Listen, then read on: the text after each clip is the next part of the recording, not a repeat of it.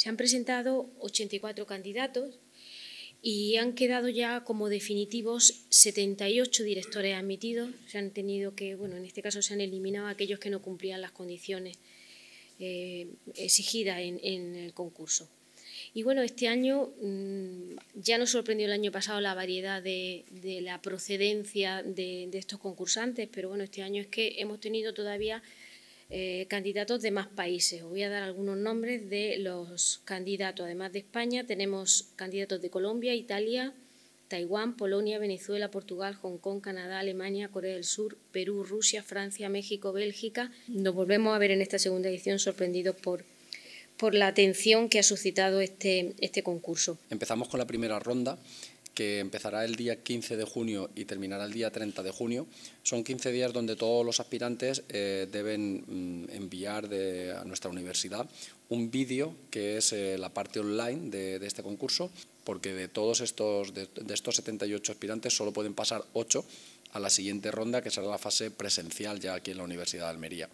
Entonces, eh, a finales de julio, el día 30, se publicará la, lista de puntuaciones y estos ocho candidatos dirigirán a modo de concierto, pero internamente, eh, una obra para cada ensemble y de estos ocho candidatos ya el jurado decidirá qué cuatro candidatos pasarán a la fase final.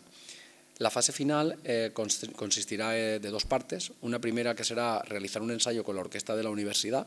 En ese ensayo cada aspirante dirigirá un movimiento de la Sinfonía número 7 de, Ludwig van Beethoven y un área de ópera. Y eh, después de ese ensayo realizarán el concierto final, que será el día 1 de noviembre en el Auditorio Municipal Maestro Padilla